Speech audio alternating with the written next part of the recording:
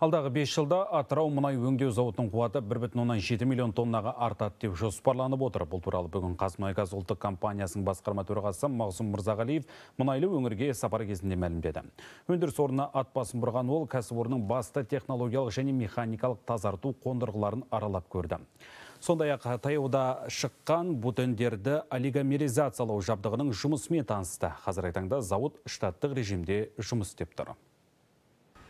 Өнім шығару мен жөнелтуде іркіліс жоқ. Үш кезеңді жаңғыртудан өткен кәсіпорында былтыр 5,5 миллион тоннадай мұнай өңделіп, 4,9 миллион тоннаға жоқ тауарлық өнім шығарылды. Мұнайды орташа өңдеу тереңдігі 82,1 пайызға өскен. Зауыт жұмысымен танысқан Мағзұм Мырзағалиев таяуда техникалық ақау шыққан қондырғында көрді. Жалпы мына екі айдың ішінде 919 мың тонна мұнай қайта өңделді.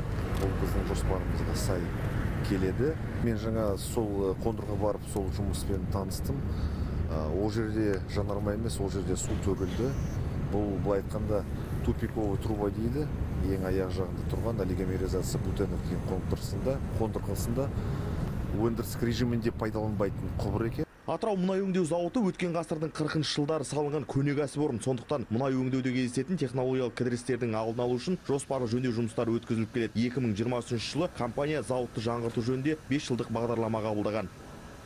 5 жылдың ішінде тиісті қаражат бөлініп мына ескі ескі зауыттың бөлігінде ә, жөндеу жұмыстар жүргізетін болады.